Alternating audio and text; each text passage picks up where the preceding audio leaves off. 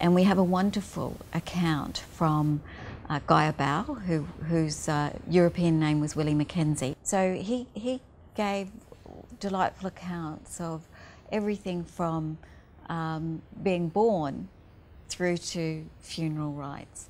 Um, and uh, I was just intrigued by his accounts of, of the protocols involved with a woman in childbirth and how there'd be women who would assist her. But um, as with um, mothers everywhere, the whole um, preparation for the birth begins, of course, before the delivery. And so uh, he mentioned that one of her obligations would be to provide a possum skin cloak for her husband, and if she had any children, her husband and children.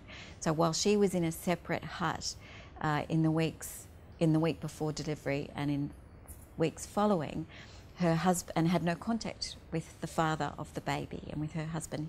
So he was back in their main hut uh, with any other children, and so her obligation was to make sure that there was a possum skin cloak big enough to cover her husband and her children in her absence. So, you know, that was one of the preparations for childbirth was to make sure you had this extra large possum skin cloak to make sure your family was protected, which would have been extra important in the winter.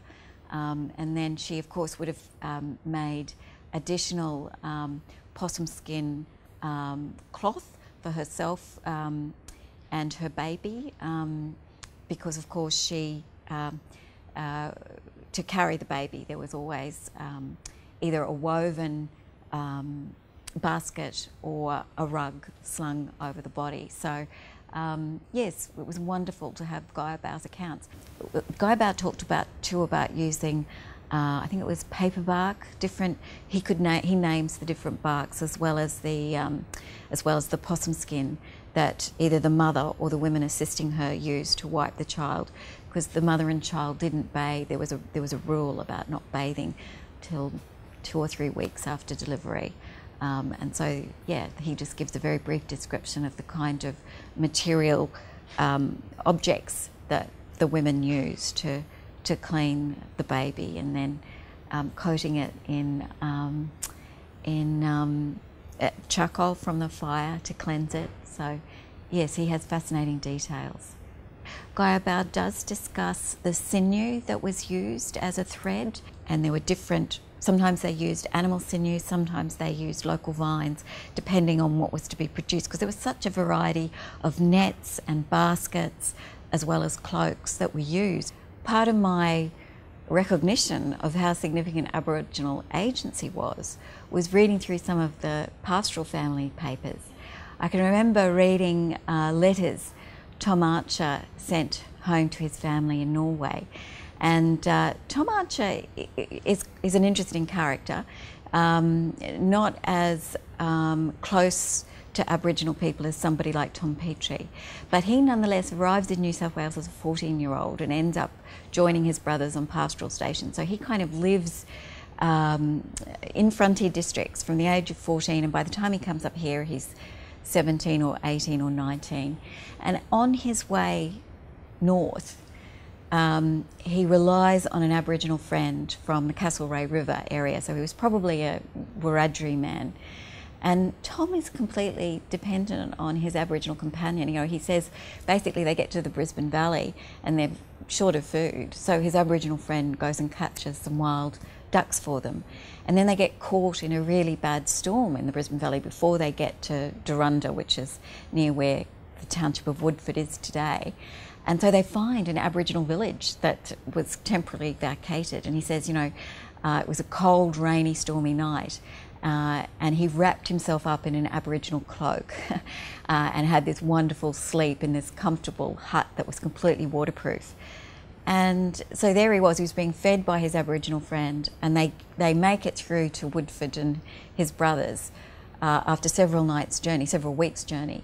But they do it because they are completely dependent on Aboriginal material culture. That he's got this Aboriginal possum skin cloak to roll himself up in. So um, it, it, it was just a really clear reminder of, you know, uh, not only that the landscape was peopled, but there were villages on the landscape that whites used. Um, so it was a really helpful letter. I knew how important the possum skin cloaks were in, in all of southern Australia. I mean, you can't survive a southern Australian winter without furs. And, and um, it just made me realise how much of the colonial records are just so embedded in racism. They're so obsessed with Aboriginal nakedness. And then you think, well, wait a minute. Everywhere in southern Australia, Aboriginal people used fur cloaks. Um, you had to. So this is this emphasis on the nakedness is just a part of the racism that is just imbued in, in the colonial eye and the, and the colonial record. Um, and I suppose since then it's been somewhat reinforced because our main, you know, our main 20th century images became the desert people who survived uh, the, kept the traditional lifestyle the longest, and so there the skins weren't as significant, not in the summer. Of course, they were important in the deserts in the winter. Possum skin cloaks were probably waterproof in a way that woolen blankets that the Europeans brought weren't. And um, that this is perhaps why the Europeans, whenever they could, wanted the possum fur cloaks ahead of their own blankets. Um, but of course, uh, you know, the only, the only uh, thing that the British government ever gave Aboriginal people in these decades was the annual blanket giving, in which Aboriginal people were given woolen blankets in the name of Queen Victoria. So it was a very unequal exchange. My memory is that Captain Wickham, who had responsibility for organising the days in the 1850s. There was one year where they didn't have enough, so he ordered that the blankets be cut in half.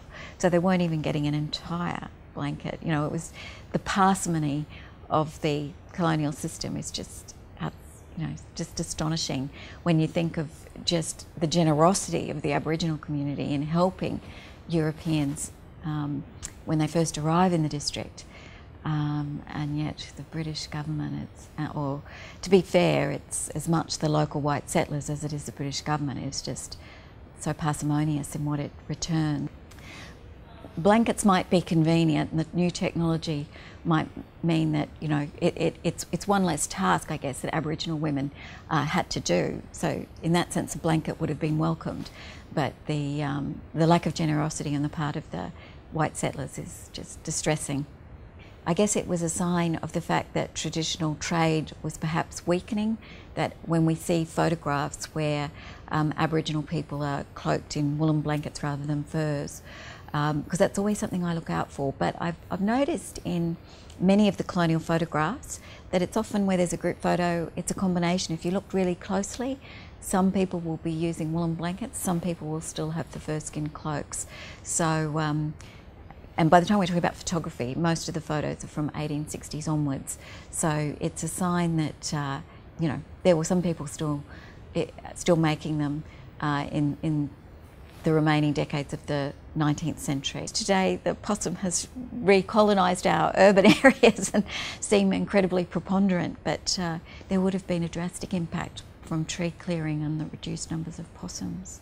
And of course, they don't last through the summer. You have to make, in the Queensland summer, you have to make your possum skins annually.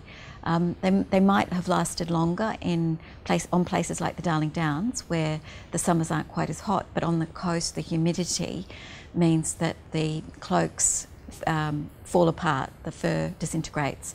So um, that would have been more of an issue, I guess, in humid coastal Queensland.